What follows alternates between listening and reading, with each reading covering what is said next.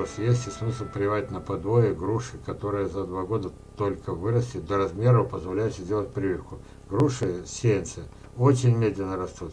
Два года это нормально, она, пока она не поехала до размера карандаша. Дальше, основная масса подвоев готова к прививкам уже на следующий год от посева. Вот. А будет ли полноценными такие деревья или браковать? Имеется в виду, что деревья отстали в росте, вот. И что с ними делать? Браковать или, не, или прививать? Прививать. Дело в чем.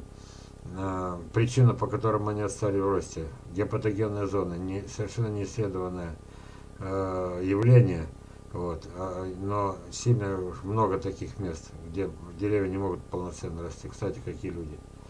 Вот. Теперь, это первое. Второе, вот так как я сказал, э, про чуть-чуть изгиб местности, чуть-чуть складка местности, уже по-разному все растет. Дальше, э, мода, взятая по всей России, э, взятая с южных стран.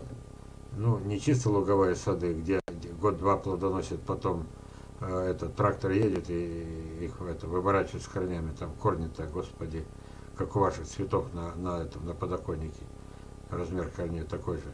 Так вот, а просто короткая жизнь, искусственные корни, но это на юге. Они успевают дать э, максимальный урожай и доход, а потом под топор, образно говоря.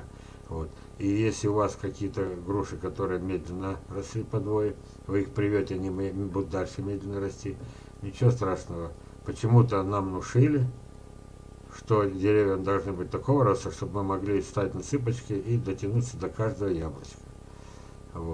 Ну, что это сам. То есть они как бы имеют свои же преимущества. Меньше разбиваются, падая. Вот. Э, уход за ними удобнее. Ничего. Я противник таких.